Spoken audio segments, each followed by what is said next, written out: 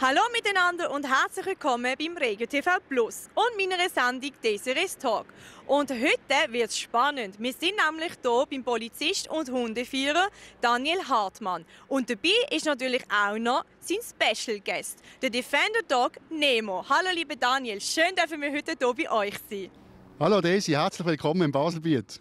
Dankeschön. Jetzt haben wir ja den schönen Nemo neben dir. Erzähl mal, wie bist du bei der Polizei zu der Hundeführung gekommen? Ich habe im 87 die Schule gemacht und habe dann äh, nach der Schule, nach meinen ersten Erfahrungen, nach ein paar Jahren, habe ich gesagt, ich werde noch eine Zusatzaufgabe machen. Und bin dann seit dem, äh, 1991 bin ich jetzt Hundeführer und der Nemo ist mittlerweile mein vierter Hund. Jetzt hast du schon gesagt, er ist jetzt der neue, jüngere Hund. Du hast ja noch den zweiten, den Rommels Macho, der jetzt schon elf ist. Geht er jetzt doch schon in Rente? Jawohl, wir haben äh, gestern Nacht äh, den letzten Nachtdienst miteinander. Er wird jetzt Ende Mai äh, wird er jetzt pensioniert und dann geht in wohlverdienten äh, Ruhestand. Was ist jetzt so sein krasseste Erlebnis das der Rommels Macho bis jetzt? Also das krasseste Erlebnis ist, glaube ich, gesehen, wo wir mal eben auch äh, auf Täter gekommen sind. Er hätte zwar nie einen Biss machen, aber er hat das eigentlich sehr gut äh, äh, können ausschaffen. Das Problem ist ja meistens bei den Diensthunden, wir können sie nicht auf alle Lagen vorbereiten. Sie müssen gewisse Lösungen halt dann auch noch selber treffen und er hat das dort hervorragend gemacht. Jetzt, wie wird man Polizeihund? Was muss der Hund für Anforderungen erfüllen? Ja, ganz einfach gesagt, eigentlich ein großes Herz haben und dann vielleicht ausgeprägte Beute, Beutespieltrieb und Fresstrieb haben.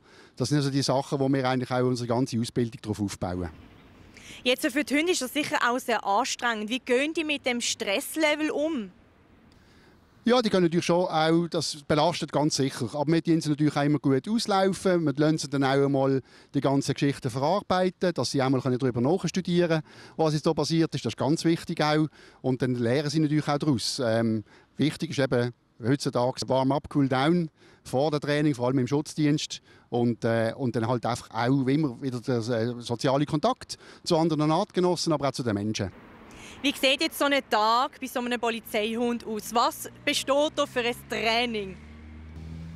Also du meinst es der Alltag oder meinst du speziellen Trainingstag? Also der Alltag ist eigentlich bei uns immer so, wir haben insgesamt drei Hunde daheim, dass ich am Morgen eine Stunde laufen Das ist so nach der 5 und nachher wird gefressen, dann gehen wir heim und dann ins Büro oder ins Training. Wenn wir ins Büro gehen, dann ist er im Zwinger. Ich habe im Schoren unten eine Zwingeranlage. Dort ist er im Zwinger und wir können während der Dienst auch die Hunde versäubern. Oder wenn wir Patrouillendienst haben, nehmen wir selbstverständlich die Hunde ja im, im, Auto in der Box mit, damit wir sie auch gar einsetzen können. Wenn wir Training haben, ist es individuell. Je nachdem, wo das Training geplant ist, treffen wir uns dort. Und nach Trainingsprogramm werden dann die Module geschult, die man eigentlich in der Ausbildung geplant hat. Jetzt, äh, wie lange hat so ein Polizeihund Dienst? Wie viele Jahre also wie gesagt, der, äh, der Macho ist eigentlich äh, noch relativ gut weg. Er ist jetzt auch, sage ich jetzt mal, an der oberen Limite.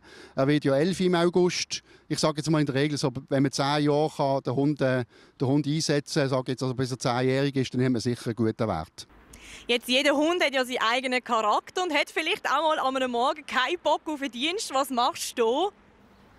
Motivieren wie er mich auch muss motivieren wenn es mir einmal, wenn das Wetter schlecht ist oder so. Aber ich glaube einfach in der Arbeit, es gibt immer wieder Möglichkeiten, wie man halt motiviert. Und es gibt halt auch einen Tag, wo es halt nicht so läuft. Mit dem muss man auch umgehen Jetzt, äh, der Nemo ist jetzt noch ganz jung. Was hat er jetzt für eine spezielle Ausbildung, dass er dort ankommt, wo jetzt der Macho ist? Also wir haben äh, das Glück im Baseland, dass wir eigentlich zweimal in der Woche einen halben Tag Training haben mit den Junghunden. Und da können wir doch schon sehr viel machen. Aber es lenkt nicht. Es ist klar, dass man auch im Privaten einen grossen Teil leisten muss. Ähm, man ist zum Teil in Hundesport, man trainiert mit dem Partner oder man macht sogar untereinander die Hundeführer etwas ab und machen noch Trainings. Weil es sind doch einige äh, Disziplinen, jetzt sage ich, äh, wo, wo man muss können muss.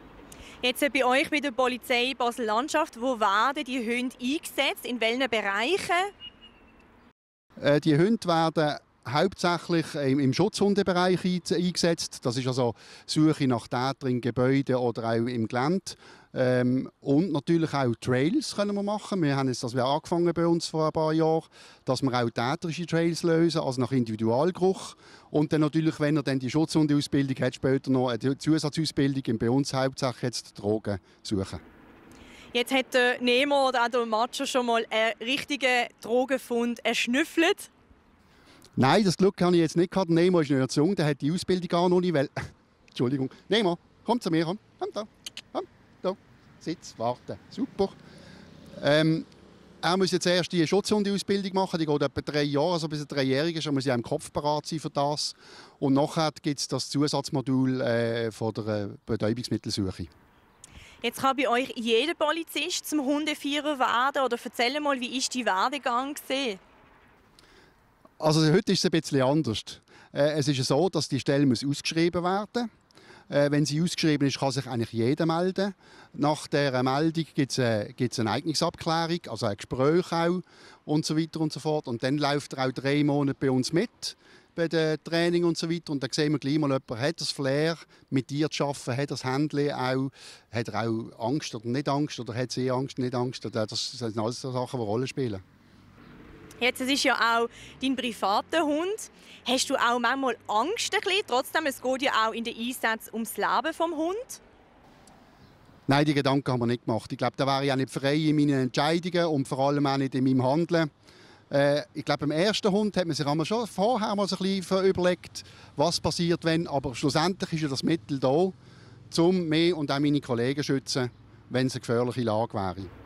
Jetzt bei den Leuten, wie kommt das an, sei das jetzt bei den Tätern oder bei den normalen Menschen, haben sie Respekt, sobald du mit dem Hund auftauchst? Das ist so. Das ist ein ganz anderer Kontakt, vor allem äh, im unfriedlichen Bereich. Der Hund ist halt nicht so berechenbar wie ein Mensch. Die Leute, die Gegenseite wissen genau, äh, als Polizist müsst du beherrschen auch wenn du angespuckt wirst und so weiter. Und der Hund hat halt da eine gewisse Freiheit, die er sich rausnehmen kann, wenn jemand, äh, wenn jemand halt, äh, sich nicht so verhält, wie er muss. Dass es dann halt, je nachdem, mit einem Bisskorb zu einem Stossen kann kommen wenn er den Bisskorb hat, oder halt dann auch zu einem Biss, je nachdem, nach Situation. Jetzt, wie ist der Daniel Nemo privat, nicht im Dienst? Ja, wir chillen meistens. Nein, wir machen. Äh, für mich ist es wichtig, es ist ein Familienmitglied. Wir halten auch unsere Hunde alle daheim im Haus. Das ist keine Zwingerhaltung. Es ist für mich auch ganz wichtig, wegen der Bindung natürlich, weil eine gute Bindung macht schon viel aus. Dankeschön vielmals, lieber Daniel und natürlich ähm, der Defender Dog Nemo, dass wir heute hier sein und einen kleinen Einblick in euren Beruf haben. Merci vielmals. Lieben Dank, Desiree. Ich wünsche dir eine gute Rückkehr in, auf Basel-Stadt und alles Gute. Dankeschön vielmals, dass ihr dabei gewesen. Hat mich sehr gefreut. Wir sehen uns ganz bald wieder, wenn es heisst Desiris Talk. Macht's gut, habt's gut. Ciao zusammen.